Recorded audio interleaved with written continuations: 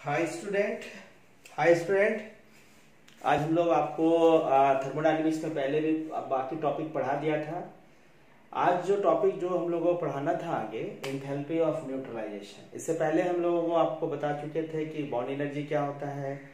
Bond energy के माध्यम से किसी भी रिएक्शन का इंथेल्पी ऑफ़ रिएक्शन कैसे निकालते हैं। इंथेल्पी ऑफ़ कंबशन क्या है? इंथेल्पी ऑफ़ फॉर्मेशन क्या है? सारा कुछ बता दिए थे, उसका कुछ क्वेश्चन करवाए थे। अब आगे का टॉपिक है इंथैल्पी ऑफ़ न्यूट्रलाइजेशन और इस neutralization is very important topic इसका अलग सीपीपी है पैकेज में अगर आप देखिएगा तो। इंथैल्पी ऑफ़ न्यूट्रलाइजेशन आप सबको पता है न्यूट्रलाइजेशन का मतलब होता है रिएक्शन एसिड बेस रिएक्शन वो एसिड बेस न्यूट्रलाइजेशन कहेंगे। ऑक्सीडाइजिंग एजेंट या रिड्यूसिंग एजेंट अगर आपस में रिएक्शन करें तो उसको हम लोग रिडॉक्स क्या बोलते हैं?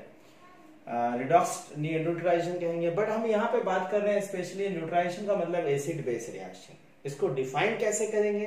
लिखना है कॉपी में, लिख के नोट्स बना लेना है। तो इंथैल्पी ऑफ़ न्यूट्राइजेशन क्या है कि कोई भी एसिड और कोई भी बेस जब आपस में रिएक्ट करता है तो हम सबको पता है कि सॉल्ट और वाटर का फॉर्मेशन होगा। तो एसिड का एक इक्विवेलेंट नॉट वन मोल यहाँ पे ध्यान रखना एसिड का एक इक्वेलेंट और बेस का एक इक्वेलेंट के साथ पूरा का पूरा रिएक्शन कर जाए। तो रिएक्शन करने के बाद सॉल्ट बनेगा वाटर भी बनेगा। और इस रिएक्शन हम सब जानते हैं कि कोई भी रिएक्शन होगा तो या तो हीट रिलीज़ होगा, या तो हीट एब्सॉर्ब होगा। तो उस हीट रिलीज़ और एब्सॉर्ब होने के कारण जो भी इंथैल्पी चेंज होगा, उस इंथैल्पी ऑफ़ रिएक्शन को इंथैल्पी ऑफ़ न्यूट्रलाइजेशन कहेंगे। लेकिन ध्यान से समझिएगा इंथैल्पी ऑफ़ न्यूट्रलाइजेशन के लिए कंडीशन है कि एसिड का एक इक्वेलेंट चाहे स्ट्रॉन्ग एसिड हो, चाहे वीक एसिड डिफिनेशन में वैसा नहीं है। स्ट्रॉन्ग एसिड का न्यूट्रलाइजेशन अलग होगा वीक एसिड का अलग होगा। बेस का भी एक इक्वेलेंट आपस में कंप्लीटली रिएक्ट कर जाए मतलब न्यूट्रलाइज कर जाए। तो उस दौरान जो हीट रिलीज़ होगा, या हीट एब्सॉर्ब होगा। और उस उस हीट रिलीज़ या एब्सॉर्ब होने के कारण जो इंथैल्पी चेंज होगा, उस इंथैल्पी चेंज को उस एसिड बेस का इंथैल्पी ऑफ़ न्यूट्रलाइजेशन कहेंगे। ठीक?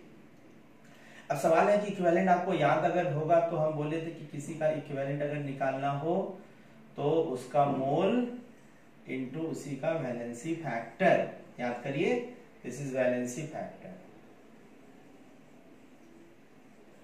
और ये भी हम पहले डिस्कस किए थे कि किसी का वैलेंसी फैक्टर वन हुआ अगर और किसी भी एसिड बेस का वैलेंसी फैक्टर वन हुआ तो उसका एक इक्विवेलेंट में मतलब एसिड का या बेस का एक मोल में एक इक्विवेलेंट हुआ कब? अगर उसका वैलेंसी फैक्टर वन हुआ। तो एसिड बेस का वैलेंसी फैक्टर क्या होता है? तो एक मॉलिक्यूल से टूट करके कितना H प्लस रिलीज़ हो रहा है एसिड का बेस का कितना ओ OH रिलीज़ हो रहा है। जैसे HCl का वैलेंसी फैक्टर आपको पता है कि वन होगा क्योंकि एक ही होगा H2SO4 का वैलेंसी फैक्टर पता है कि इसका दो होगा। उसी तरह से H3PO4 का वैलेंसी फैक्टर पहले भी डिस्कस किए हैं, तीन होगा, अगर कंप्लीट रिएक्ट करेगा तो H3PO3 का वैलेंसी फैक्टर दो होगा, तीन हाइड्रोजन होते हुए भी दो ही हाइड्रोजन रिप्लेस होता है। टू का वैलेंसी फैक्टर वन होता है, ये पहले डिस्कस किए हैं। और देखो boric acid boric acid Lewis acid होता है। कोई भी लेविस एसिड या लेविस बेस का वैलेंसी फैक्टर हमेशा वन होता है। तो आप उसको ना मोल में हम लोग को पता है मोल को आप वैलेंसी फैक्टर की वजह से इक्विवेलेंट में कन्वर्ट कर सकते हैं। और यहाँ डिफिनेशन में आपको डिफाइंड है कि एसिड का एक इक्विवेलेंट बेस का एक इक्विवेलेंट के साथ कंप्लीटली रिएक्ट करे तो रिएक्ट करने से जो हीट रिलीज़ हो या हीट एब्जॉर्ब हो, उस दौरान जो इंथैल्पी चेंज होगा, उस इंथैल्पी चेंज को उस एसिड बेस का इंथैल्पी ऑफ़ न्यूट्रलाइजेशन कहेंगे। ठीक है? अब हम लोग बात करें कि भाई एसिड तो स्ट्रांग भी हो सकता है वीक भी हो सकता है बेस भी स्ट्रांग और वीक भी हो सकता है तो सबका इंथैल्पी का वैल्यू तो अलग अलग होगा। तो उसमें आप देखिए कि पहला अगर हम बात करें कि strong acid plus strong base आपस में रिएक्ट करेगा ध्यान से समझिएगा प्लस वाटर बनेगा। एक चीज़ और आपको बता दे कि एसिड और बेस का जब एक इक्वेलेंट रिएक्ट करेगा तो वाटर का 100 परसेंट वाटर का एक इक्वेलेंट का मतलब वाटर का एक मोल ही फॉर्मेशन होगा। फिर से बोल रहा हूँ। एसिड और बेस का जब एक इक्वेलेंट एक इक्वेलेंट रिएक्ट करेगा तो एक इक्वेलेंट रिएक्ट करने से वाटर का एक इक्वेलेंट ही बनेगा मतलब वाटर का एक मोल बनेगा। अगर दो दो इक्वेलेंट रिएक्ट करेगा तो वाटर का दो मोल बनेगा। अकॉर्डिंगली यहाँ भी सॉल्ट में भी है, लेकिन हम लोग को वाटर से मतलब है। ठीक? तो स्ट्रॉन्ग एसिड स्ट्रॉन्ग बेस का इंथैल्पी ऑफ़ न्यूट्रलाइजेशन कितना होगा, कैसे निकालेंगे, कैसे सोचेंगे? तो समझाने के लिए आपको एग्जांपल देते हैं स्ट्रॉन्ग एसिड में। मान लिया एसीएल बैलेंसी फैक्टर वन तो इसका वैलेंसी फैक्टर वन होगा तो इसका एक मोल में ही एक इक्विवेलेंट होगा। दूसरा एक एग्जांपल देते हैं NOH this is also strong base इसका भी वैलेंसी फैक्टर वन तो मतलब इसका एक मोल में एक इक्विवेलेंट होगा। अब दोनों आपस में रिएक्शन होगा तो भाई ऐसे। अब इसका इंथैल्पी चेंज क्या होगा तो आप सबको पता है कि किसी भी रिएक्शन का इंथैल्पी जो चेंज होता है, वह क्या होता है? पुराना बॉन्ड टूटने और नया बॉन्ड बनने के दौरान जो इंथैल्पी चेंज होता है, उसी को इंथैल्पी ऑफ़ न्यूट्रलाइजेशन कहेंगे। तो ये जो वैल्यू होगा, अगर ये एक इक्विवेलेंट मतलब यहाँ पे वन मोल ये भी एक इक्विवेलेंट मतलब इसका भी एक मोल ठीक? आपस में रिएक्ट किया तो 100 परसेंट वाटर का एक ही मोल बनेगा। जैसा कि बता चुके आपको, बन भी रहा है, देख लीजिए आप। तो इंथैल्पी ऑफ़ न्यूट्रलाइजेशन क्या होगा, अगर लिखेंगे तो भाई, ठीक है ना? कैसे होगा? इसको तोड़ने में जो एनर्जी लगेगा इसको बोल सकते हैं enthalpy of ionization enthalpy of भाई तोड़ना होगा तो कैसे टूटेगा? कि H प्लस सी में टूटेगा। तोड़ने में आयन में टूट रहा है, इसलिए इसको इंथैल्पी ऑफ़ आयोनाइजेशन बोल सकते हैं। में जो एनर्जी देना पड़े आपको plus enthalpy of ionization of NOH, इसको भी तोड़ने में जो एनर्जी देना पड़े। अभी तो टूट रहा है प्रोडक्ट रिएक्शन में तो रिएक्टेंट टूटता है प्रोडक्ट बनता है। अब यहाँ पे क्या है, भाई प्रोडक्ट बन रहा होगा तो इंथैल्पी ऑफ़ फॉर्मेशन ऑफ़ इन गौर करिए NaCl जो बन रहा है वो कैसे बन रहा है? ओरिजिनल एलिमेंट से नहीं बन रहा है Na प्लस और Cl से बन रहा है, यहाँ पे। और भाई वाटर भी कैसे बन रहा है? तो H प्लस और OH माइनस से बन रहा है। H2 और O2 से नहीं बन रहा है, जो कि हम पहले पढ़ा है। तो plus enthalpy of formation of water तो जरा क्लियर कर लेते हैं वाटर कहाँ से बन रहा है जी? तो from H plus and OH ion से बन रहा है। इस दौरान जो इंथैल्पी चेंज हुआ, वो वही इंथैल्पी ऑफ़ न्यूट्रलाइजेशन होगा। अभी बताइए कि कैसा एसिड है? स्ट्रॉन्ग एसिड स्ट्रॉन्ग एसिड किसको बोलते हैं? जो कि भाई तोड़ना ना पड़े, अपने ही टूट जाए। स्ट्रॉन्ग एसिड तो उसी को बोलेंगे। तो अपने टूट जाए मतलब इसको तोड़ने में एनर्जी ना लगे, तब नहीं स्ट्रॉन्ग एसिड है। तो इसका वैल्यू कितना होगा? ज़ीरो ये क्या है? स्ट्रॉन्ग बेस स्ट्रॉन्ग बेस भी उसको बोलते हैं जो अपने टूट जाए तो इसका वैल्यू भी कितना होगा? ज़ीरो ये बताइए सॉल्ट है। हम जब भी जानते हैं सॉल्ट सॉल्ट क्या है? स्ट्रॉन्ग इलेक्ट्रोलाइट और रिएक्शन हो कहा रहा है? तो हो रहा है सोल्यूशन में सोल्यूशन में कभी सॉल्ट बनेगा कि टूटा ही रहेगा? टूटा रहेगा तो भाई बना ही नहीं NaCl तो भाई एनर्जी कहाँ से रिलीज़ या एब्जॉर्ब करेगा? तो इसका इंथैल्पी भी ज़ीरो होगा। कोई भी सॉल्ट कोई भी सॉल्ट सॉल्ट हमेशा स्ट्रॉन्ग इलेक्ट्रोलाइट होता है। लेकिन आपको पता है कि वाटर स्टेबल है वो तो बना ही होगा। यानी जो भी यहाँ पे इंथैल्पी जो चेंज होगा, इसको न्यूट्राइजेशन बोल रहे हैं तो वह होगा due to enthalpy of formation of water from H plus and OH ion यानी आप इसको ऐसे जनरलाइज कर सकते हैं कि किसी, कोई भी, यहाँ पे H2SO स्ट्रॉन्ग एसिड में HCl का जगह H2SO4 होता है तो भी ज़ीरो होता है। यहाँ पे QH होता है तभी ज़ीरो होता है कोई भी सॉल्ट होगा ज़ीरो होता है और जब एक इक्विवेलेंट एक इक्विवेलेंट रिएक्ट करेगा तो वाटर का एक ही मोल बनेगा, वो भी कहाँ से बनेगा? एच प्लस और ओ OH में। यानी आप बोल सकते हैं कि किसी भी स्ट्रॉन्ग एसिड किसी भी स्ट्रॉन्ग बेस का इंथैल्पी ऑफ़ न्यूट्रलाइजेशन का वैल्यू हमेशा फिक्स होगा और वह फिक्स वैल्यू किसके बराबर होगा? Due to formation of one mole of water from H plus and OH ion तो इतना लंबा चौड़ा ना भी लिख करके कभी कभी क्या कीजिएगा? ऐसे लिख देते हैं, देखिए। तो यहाँ जो लिखा है तो बताइए, यहाँ पे जो इंथैल्पी जो चेंज होगा इसमें तो enthalpy of formation of water भी कह सकते हैं। साथ ही साथ बताइए वाटर का कितना मोल बन रहा है? वन मोल कहाँ से बन रहा है? तो एच प्लस और ओ इससे बन रहा तो इसको आप कह सकते हैं इस इस इस रिएक्शन का जो इंथैल्पी ऑफ़ रिएक्शन होगा वह इंथैल्पी ऑफ़ न्यूट्रलाइजेशन किसका? Of strong acid plus strong base के बराबर होगा। तो कभी कभी ना कभी कभी क्या होता है वैल्यू दे देगा कि भाई वाटर का फॉर्मेशन ये रिएक्शन लिख देगा। और ये रिएक्शन लिख देगा, वही किसके बराबर होगा? Enthalpy of neutralization of strong acid and strong base ठीक? ये फिक्स वैल्यू है, कोई भी स्ट्रॉन्ग एसिड कोई भी स्ट्रॉन्ग बेस के लिए। अब क्या है कि हम लोग चूँकि आपको बताया पहले भी कि थर्मोडाइनमिक्स में कोई डेटा याद नहीं रखना पड़ता है। लेकिन चूँकि कोई भी एसिड बेस के लिए हमेशा फिक्स है तो एक्सपेरिमेंटली देखा गया कि वैल्यू कितना होगा। तो देखा गया कि वैल्यू जो वाटर का एक मोल बनता है फ्रॉम एच प्लस और OH आयन से देखा तो इसका value minus thirty point seven kilo calorie per mole या पर इक्वेलेंट किलो कैलोरी में, ध्यान रखना, जूल में अगर है तो 4.2 से मल्टीप्लाई कर लीजिएगा, जूल में अगर है तो 4.2 से मल्टीप्लाई कर लीजिएगा। Remember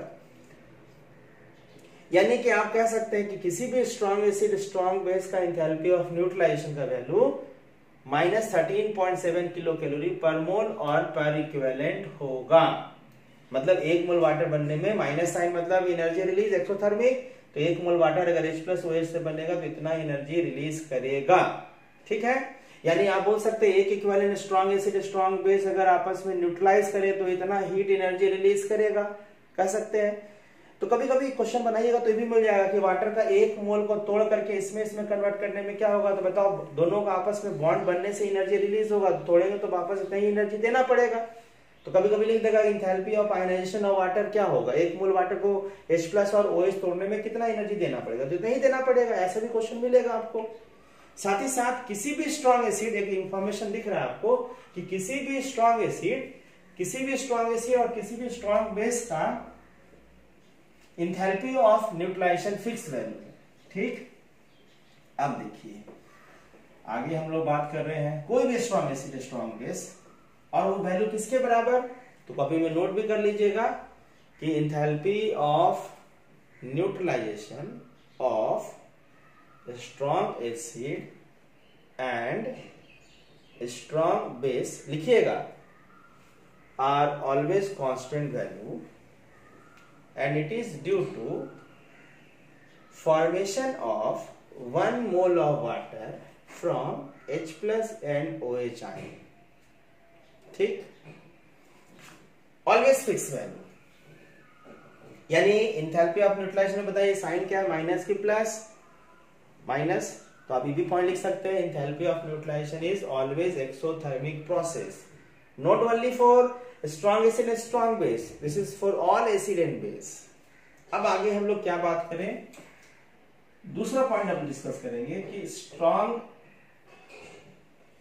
weak acid strong base का इंथैल्पी ऑफ़ न्यूट्रलाइजेशन क्या होगा? इंथैल्पी ऑफ़ न्यूट्रलाइजेशन क्या होगा? वीक एसिड और स्ट्रॉन्ग बेस का। तो एग्ज़ाम्पल में समझने के लिए देखिए, ले सकते हैं C H three C double O H इसका भी वैलेंसी फैक्टर वन एक ही एच प्लस टूटेगा एनओएच स्ट्रॉन्ग बेस आपस में रिएक्ट करेगा तो ऐसे ही है, देख लीजिए। और H2O इस दौरान जो इंथैल्पी चेंज होगा, इस दौरान जो इंथैल्पी चेंज होगा, उस इंथैल्पी चेंज को, उस इंथैल्पी चेंज को हम लोग इंथैल्पी ऑफ़ न्यूट्रलाइजेशन कहेंगे। इस वीक एसिड वीक बेस का तो समझाने के लिए कोई भी वीक एसिड वीक बेस होगा। तो गौर करिए, अगर हम एक इक्वेलेंट अगर इसको लेते हैं तो भी एक इक्वेलेंट होगा। वैलेंसी फैक्टर वन है वन है, इसका मतलब है कि इसका एक मोल आपस में रिएक्ट करेगा तो वाटर का हंड्रेड परसेंट वन मोल बनेगा। और वन मोल बनेगा तो फिर से अगेन एनर्जी इतना ही रिलीज़ होगा। और बताइए कि इसका वैल्यू तो फिक्स है कि जब वाटर का एक मोल बनेगा तो उतना एनर्जी रिलीज़ होगा। यहाँ तो कोई एनर्जी इन्वॉल्व नहीं होगा, क्योंकि स्ट्रॉन्ग बेस है। यहाँ भी कोई एनर्जी इन्वॉल्व नहीं होगा क्योंकि सॉल्ट है सॉल्ट तो स्ट्रॉन्ग इलेक्ट्रोलाइट होता है। यहाँ एनर्जी रिलीज़ होगा कितना? 13.7 लेकिन ये कैसा एसिड है जी? वीक एसिड अब पूरा का पूरा एक इक्वेलेंट को रिएक्ट करने के लिए इसको टूटना तो पड़ेगा, लेकिन तो वीक है, अपने तो टूटेगा नहीं। तो तोड़ने के लिए एनर्जी देना पड़ेगा। इसका मतलब कि नेट अगर कैलकुलेशन करें कि जो भाई जितना तोड़ने में देना पड़ा होगा और जो रिलीज़ हुआ, उसको आपस में अगर कंपनसेट करें तो जितना रिलीज़ हुआ उसी में से तोड़ने में कुछ खर्च होगा। है ना? जितना जितना यहाँ से रिलीज़ हुआ उसी में से कुछ तोड़ने में खर्च हुआ। इसका मतलब अगर नेट कैलकुलेशन करें तो इंथैल्पी ऑफ़ न्यूट्रलाइजेशन 100 परसेंट का वैल्यू 100 परसेंट इसका less than minus thirteen point seven kilo calorie से आ, कम होगा। क्यों कम होगा? तो इसको भी लिख लीजिए। क्या लिखेंगे?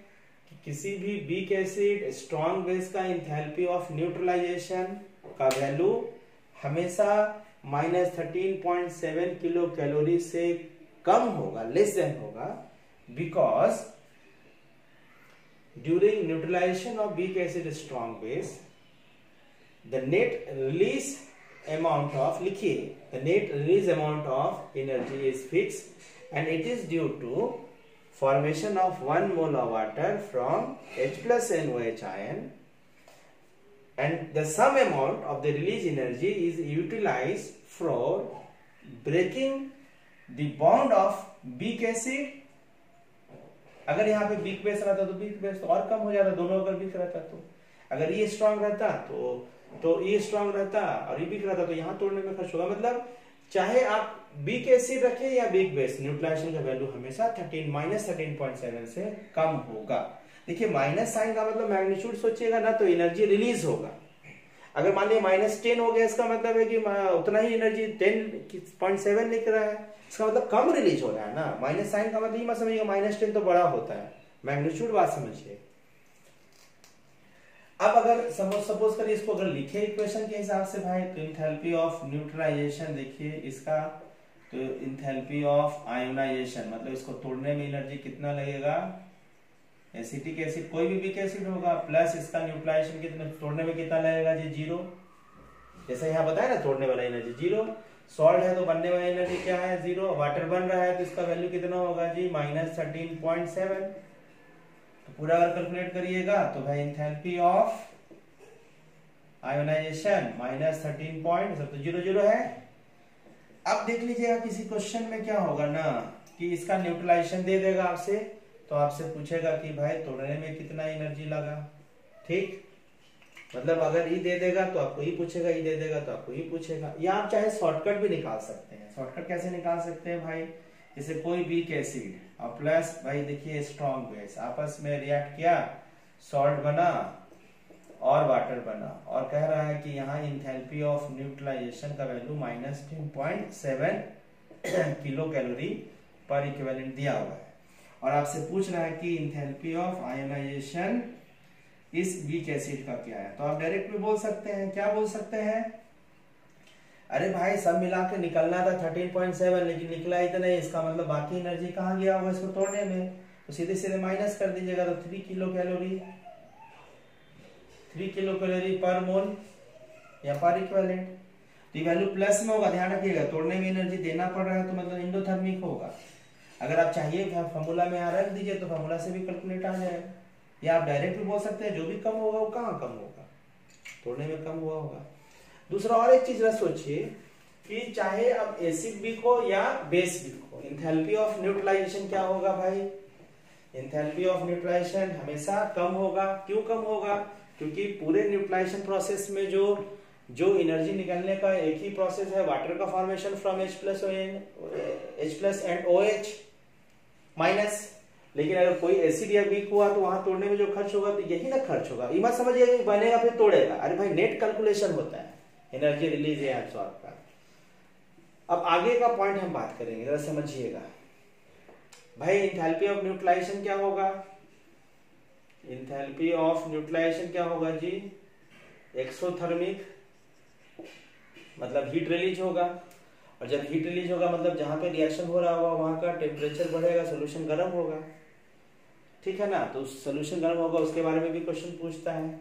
अब एक और पॉइंट हम लोग डिस्कशन कर ले रहे हैं पहले कि जरा समझिएगा, कोई एक एसिड ऐसे है ई वाला है और ये एनोज के साथ रिएक्शन किया।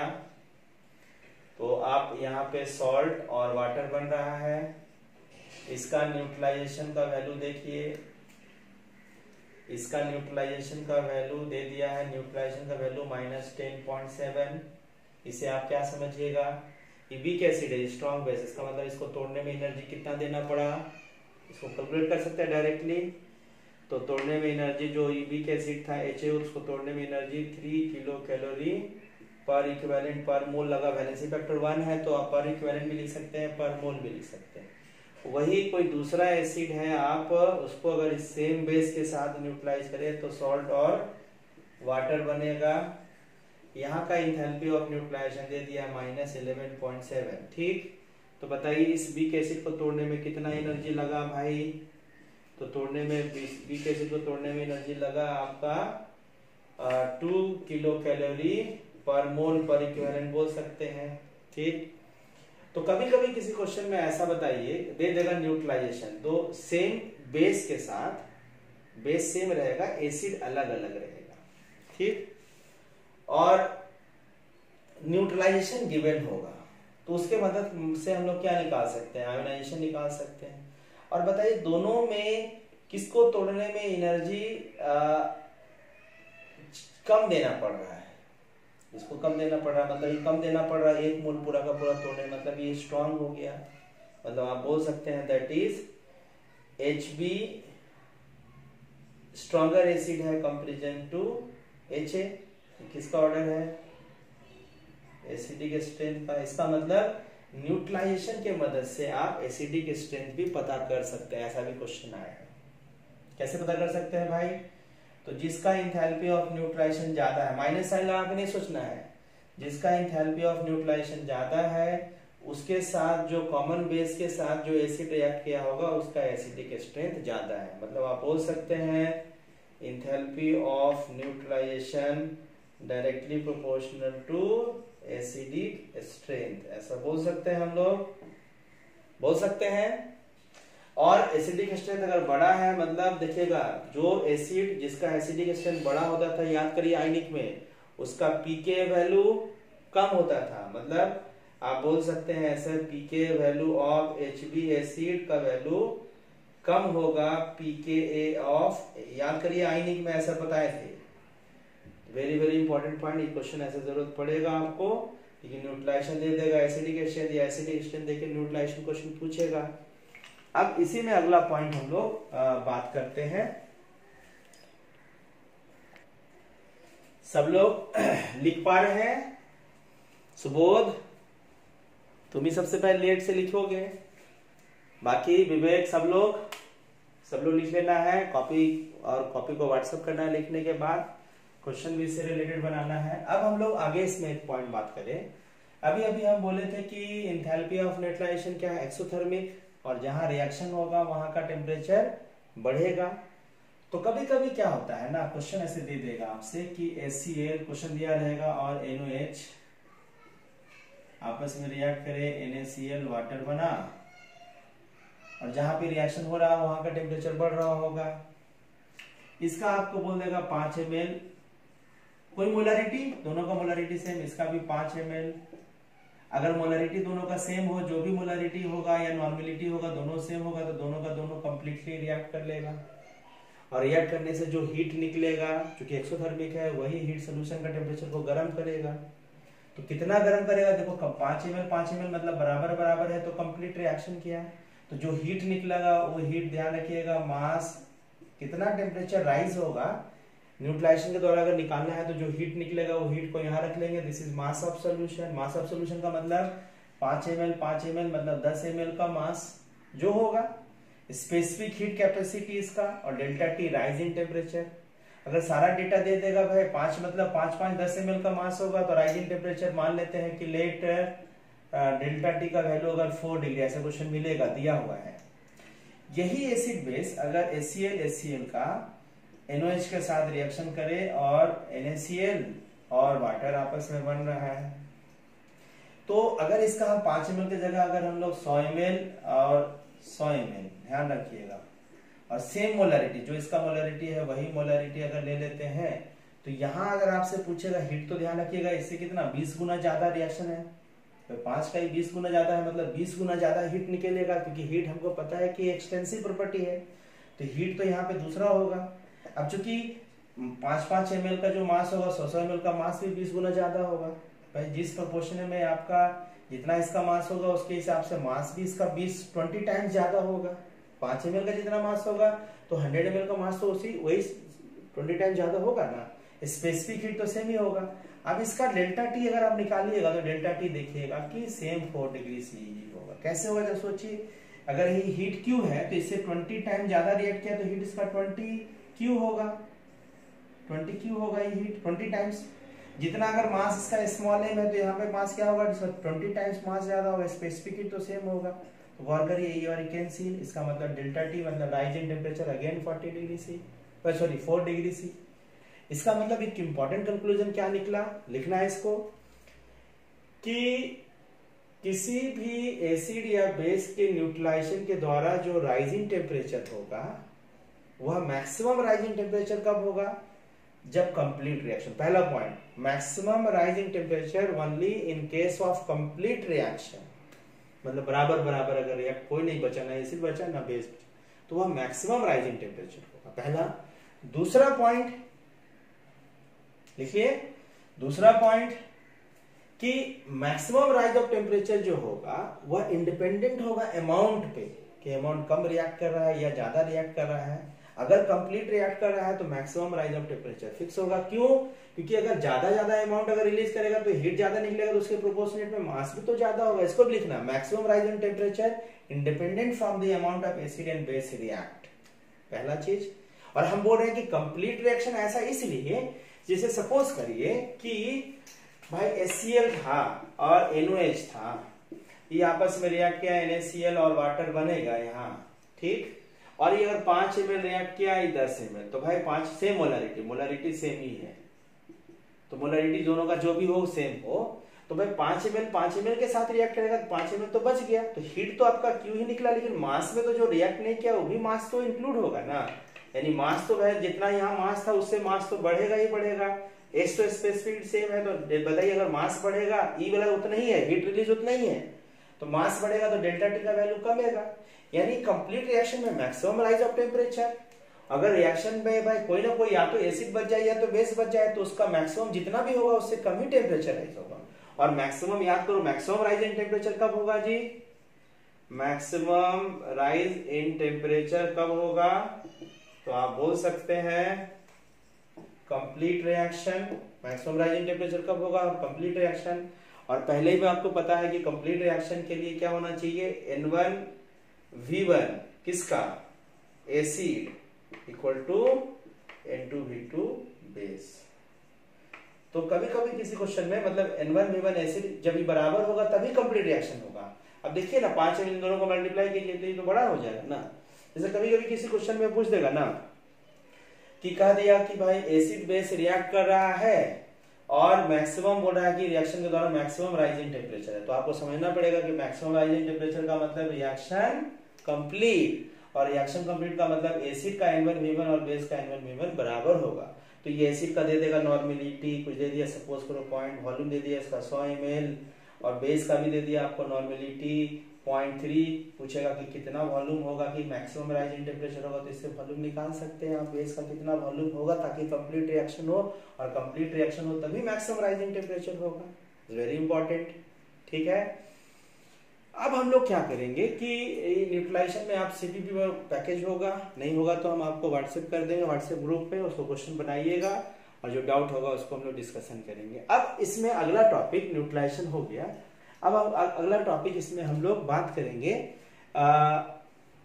स्पॉन्टेनियस प्रोसेस के बारे में। तो अगला वीडियो हम आपको स्पॉन्टेनियस प्रोसेस के बारे में भेजेंगे। इसको कॉपी करिए नोट्स करिए और हमको भेजिए व्हाट्सएप ग्रुप में आपको कॉपी चेक करेंगे। एवरीबॉडी सब लोग, सना भी करेगी, अंजलि, रुचि, अभिषेक, शिवम, सब लोग, जितने का नाम नहीं ले पा रहे हैं इसका मत सोचिएगा जिसका नाम नहीं है, उसको नहीं भेजना है। सारे लोग को खुशबू भी भेजेगी, लक्ष्मी भी भेजेगी, सारा लोग कॉपी भेजेगा। ऐसा नहीं समझना कि घर पे है तो हमको सर को कैसे पता चलेगा, जो भेजेगा मतलब हम उसी को मानेंगे कि जो कॉपी किया है। धन्यवाद। कॉपी करिए बेस्ट ऑफ़ लक एग्ज़ाम का डेट आ चुका है, इसलिए अब जाम जाना है और हर संडे को हम प्रयास करेंगे कि आपका टेस्ट हो और टेस्ट का परफॉर्मेंस सबको अच्छा करना है। इस बार सबको रिज़ल्ट देना है। हम लोग भी जागे हैं रिज़ल्ट जैसे आप लोग सो जाते हैं भाई। एग्ज़ाम होगा होगा। अब एग्ज़ाम का डेट आ गया इसलिए कृपया वी एक्टिव एवरीबडी ओके